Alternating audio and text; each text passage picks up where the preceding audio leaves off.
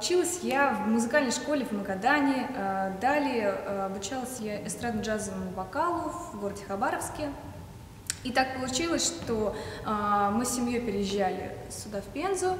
Э, собственно, я начала заниматься в эстрадной студии э, «Лель» под руководством Светланы Владимировны Фигаровской, э, чему я очень рада. И вот как-то дорожки и пути меня привели э, сюда, в филармонию, в замечательный коллектив, которым я очень дорожу. Скажите, пожалуйста, а как получилось Дальний Восток на Поволжье по- поменяли, обменяли? Родственники повсеместно. А Родственники э, живут и в Магадане, и в Хабаровске, и во Владивостоке, и в разных городах вообще России, поэтому для меня... Решили приехать в Европу. Да почти, да. Ну, разница большая вообще, что не пожалели, как, что и зачем. Нет, не Жизнь пожалела. меняет, разная.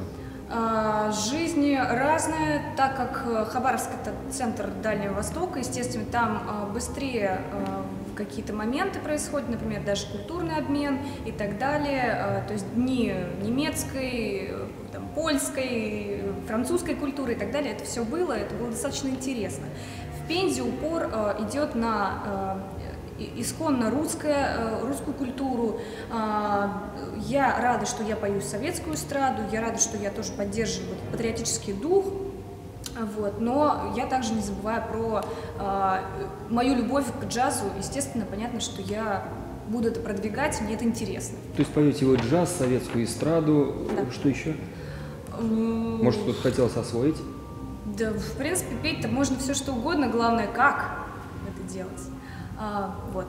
Ну, и, и рэп прочитать не И а, да, я могу прочитать рэп, это же, а, это же мой контекст, поэтому я говорю так, и всегда будет все ништяк. Ну, Я как понимаю, вы, в принципе, вот год у вас вот в рамках этого ансамбля, правильно? Он же появился у нас вот только-только, или вы где до этого выступали? Нет, ну это первая профессиональная сцена, я как понимаю, правильно? Да. Скажите, пожалуйста, план на будущее, чего вы бы хотели научиться? Ну, артист это такое существо, которое постоянно совершенствуется. Правильно? Может, у вас там будущее. Здравствуй, Москва, как какая-нибудь академия и так далее музыкальная. Поделитесь.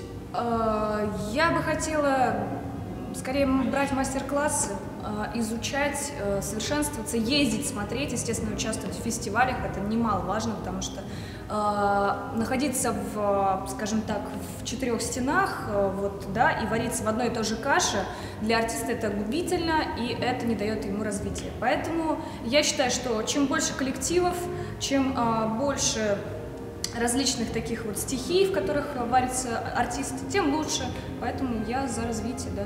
Ну, Москва не самоцель, просто хочется опыта. Нет, не правильно? самоцель. Я И работала в Петербурге и, а, Россия это не естественно- Москва. Да, Россия это не Москва, абсолютно.